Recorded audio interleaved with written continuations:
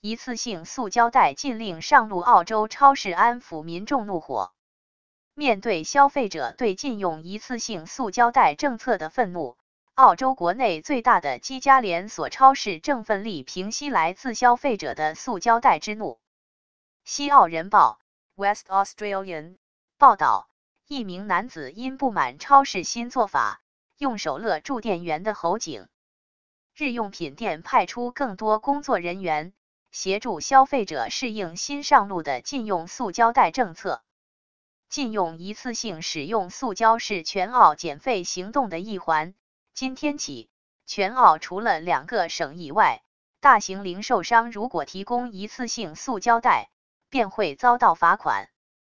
零售商沃尔沃斯公司 （Woolworths） 六月二十日即禁用塑胶袋，对首西农集团 （West Farmers）。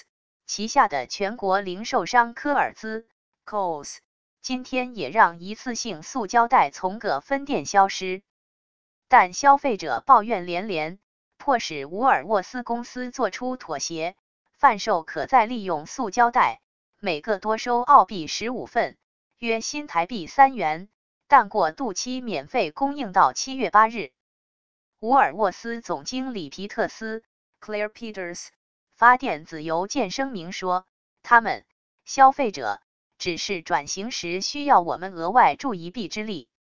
看线对手改弦易辙，科尔兹超商说，工作人员今天会向消费者解释这项改变。旗下各店开放每一道结账通道，缩短结账速度。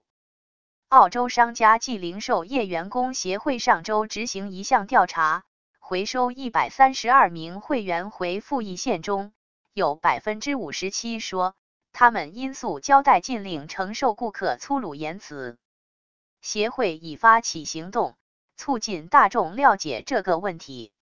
根据联合国环境规划署 （United Nations Environment Program），每年有超过八百万公吨塑胶最后回到海洋中。